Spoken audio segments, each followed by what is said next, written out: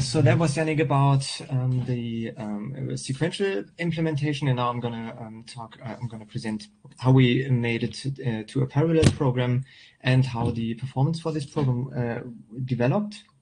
Uh, for parallelization, we used uh, MPI. Um, again, also from the motivation that we wanted to learn about it because we used it in uh, already in few previous programs, and so um, we also wanted to know how we implemented it um, on our own. And so, uh, yeah, so first of all, we thought about um, what part of the program we could um, uh, parallelize. And um, so looking at the simulation loop, uh, as Yannick mentioned, um, uh, we do have the attraction and uh, the update as the two main steps um, that we have to do, uh, or as the two main calculation steps. Uh, so we thought, okay, we can distribute the work of, of those steps onto multiple processors. So for the attraction, um, we can we can do the attraction of um, of all the objects, distribute them to the processors. So if we say, okay, we have one processor zero, usually for for coordination, then we can take the remaining p minus one processors, and um, each of the processor gets n divided by p minus one of the objects where n is the, the, the number of, of objects we are looking at. And those are all the, the planets, the sun, and all the asteroids, um, as, as Yannick said. And so we can distribute the work, calculate the attraction, collect that all again in the simulation loop, and then use that to update the steps. So once again, then take the update step, distribute again the, the, the work on all the processors to perform the Euler step now uh, for all the um, for for only a certain amount of, of objects uh, yeah, for the Euler step.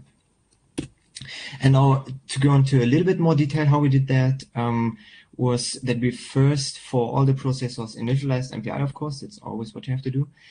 And then we initialized an, an own system for each of the processors. So by this class system, just to allocate memory for each of the system and also gain access to the methods. So we, from the sequential solution, we still had the, the, the methods attraction and update steps. And we um, also wanted to use them on all the processors.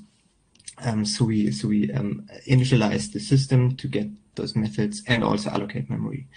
And then for sending and receiving, we also allocate a little bit more memory um, to, to um, send and receive uh, the double arrays with all the data that we are dealing with or, or, sending around.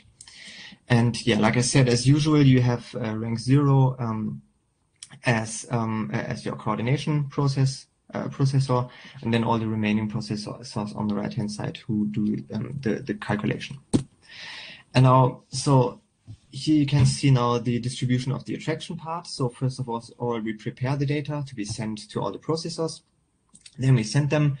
All the other processors wait to receive them. So they need all the positions, which already raises a question if MPI was the best choice or not. Um, but we'll come to that in a second. Um, so they need to receive all the position of all the other objects because uh, the gravitation on one object, of course, depends on all other positions of all the other objects. Um, so they need to receive all the positions, then sort that into their objects, but then only calculate, of course, um, the attraction for their n over p minus one objects, um, which they are supposed to do. And once they've done that, they um, prepare the data to send back to rank zero, of course. Zero waits to receive all of the data and sorts that into its system again to have the attraction done. And then later in the loop, um, the same for updating the positions. So uh, they prepare to send the data again.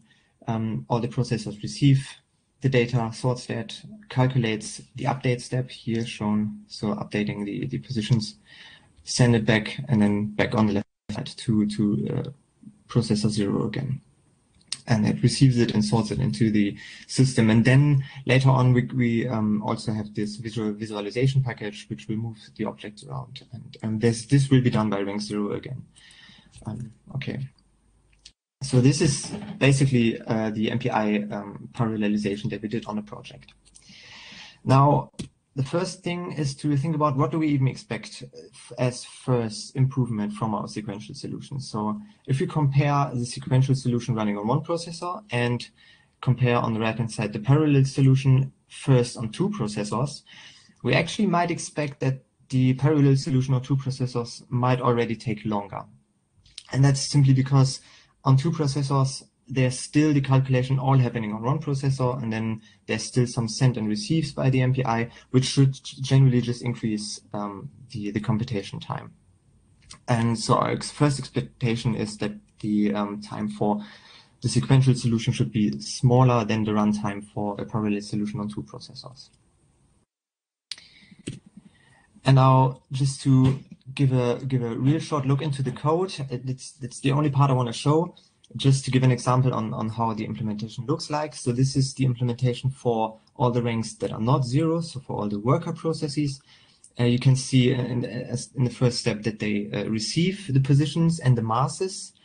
Um, and then they sort that into their system so that they later can use um, the attraction method in the uh, so in the in the red box there's shown there's actually the the um, selection of the of the correct indices for the uh, for the workload that this processor is supposed to do because it's of course not supposed to calculate all the attraction for all objects but only for a certain amount of them and then uh, prepares uh, yeah the results into a, an array and and this data to send via the MPI sent back to the um, processor zero again. So that's what it looks like in the code. And of course, um, a, a, lot more going on around there. Okay, so the first results of our performance is a rather trivial plot, but we did it just to check that everything at least works the way we expect it to be. So first, we were looking for different for, for the runtime on different processors um, for different um, number of, oh, there's actually a typo I see. So on the x-axis, it is supposed to be the number of time steps that the simulation does. So um, this, is not the number of processes, but the number of time steps that the, the simulation runs. And this was just to check that if we have 10 times the number of time steps that we perform, we expect also the runtime to be 10 times as large. And, and um, vice versa, of course, for, for less time steps. And this was just to make sure that if we want to compare um, for uh, different processes with different uh, system sizes uh, and, and their runtimes, um, that we can also perform less time steps uh, just to just to later compare um, what the what the runtime actually will look like, um, and also to make sure that it does not depend on on the um, on the simulation time itself. Now the first interesting plot is shown here. And this was at first really surprising for us. So if we take one of the curves, this is done for a fixed system size of, in this case, 211 uh, objects. And we can see that for, for more particles, uh, more processors, we, we have more processors, so two, three, four, and five. The, the runtime of the of the um, program, of course, decreases, but then increases again, and then that immediately rose uh, yeah rose the question why this is, and um, yeah, and this uh, if you if you think about how MPI works and the step that I said that MPI has to send all the data to all the processors, what happens is that for for more amount of processes, um, the the communication compared to the actual workload that has to be done um, rises rises a lot. So so if you use too many processes for a small system, you have way too much communication going on compared to uh, what uh, you would actually uh, need and compared to the calculations that you actually do. And so now we compared this now to scale with different system sizes. And now that's that's the results for for that. And there we can see, of course, if the if the system size increases, like if we have a lot more uh, objects to calculate, the minimum of the runtime also shifts to to more processors, of course. So then again, we have more calculations to do, and then it's also worth taking more MPI communication into account. But still, if you take if you have too many processors, the runtime will increase again because the the uh, communication will be too much. So it's really about finding a good balance between efficient workload distribution, so really to look how much calculation do I actually have to do, and the MPI communication that needs to be done then. And this is problem specific for our for our program here, because if you have other uh, other systems where they really um, can be uh, are completely independent areas of the system that you can calculate, then of course more processors should um, have a less runtime, but but in this case it, it increases again for too many processors. what we can see really nice here is that there is uh, our expectation um, fulfilled that we expect the uh, parallel solution on two processors to be uh, to take longer than the sequential solution on one processor, which is nice. Um, again, so the expectation here is is um, is fulfilled in some sense. And then we also exported now to get into a little bit more detail how, what the exact um, workload distribution of communication and calculation is for different processes. So this is just one example that we exported from Vampir for the 211 reference case, 211 objects. And we can see for, for 10 uh, processors, for example, there's way too much communication uh, of the um, MPI communication going on compared to the actual update and retraction size, of course. So um, this just um, again shows the behavior of increasing runtime for for more uh, uh, processors again. So there are some some improvements that we could make. So in our system, the masses don't change. So so first thing we can do, we can we can forget about sending the the mass vector because this is constant and um, actually initialized by every processor at the beginning anyway. So we can get rid of that, but this will not really change much of the performance just a little bit. And um, another thing is that for the Euler step, we can reduce the array length. This is still a thing we want to do for the report.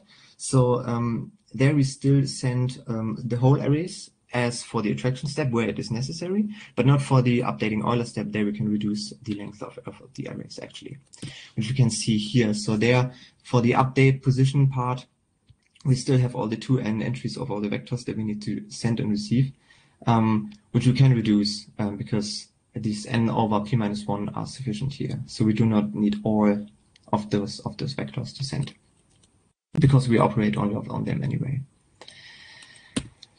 Yeah, and to now to conclude all that, um, first of all, the the results show exactly the behavior that we expect, which is which is really nice to see. Um, also um, really uh, for our system specific, it's, it's really important to find a balance between, like I said, the efficient workload distribution and the MPI communication. So, so to find a minimum runtime really depends on the processes and you may not want to have too many of them. What you can do to, to improve the code is uh, to, like I said, to reduce the amount of data that's, that needs to be sent. But actually, you cannot really reduce the number of send and receive calls. So this should not be possible as far as we thought about it yet. Um, and in the end, MPI might not be even the best choice for our problem. So a shared memory approach should should perform better. Maybe uh, it should have been a better choice because um, then we get rid of all the send and receives or, or and and yeah so this uh, because especially because this is one of the, the main calculation time needed but um, a, a, big advantage of the approach and, and, of the system that we use here is that we gain a good understanding on how MPI works because, um, yeah, if we just runtime to decrease with more processors, okay, well, that's some result to expect, but not really to see the plots how they are and, and really make you makes you think about why this is and, and even giving you a better understanding on MPI. So um, yeah, that's it from from our side, and I thank you. And uh, now you can ask questions. questions.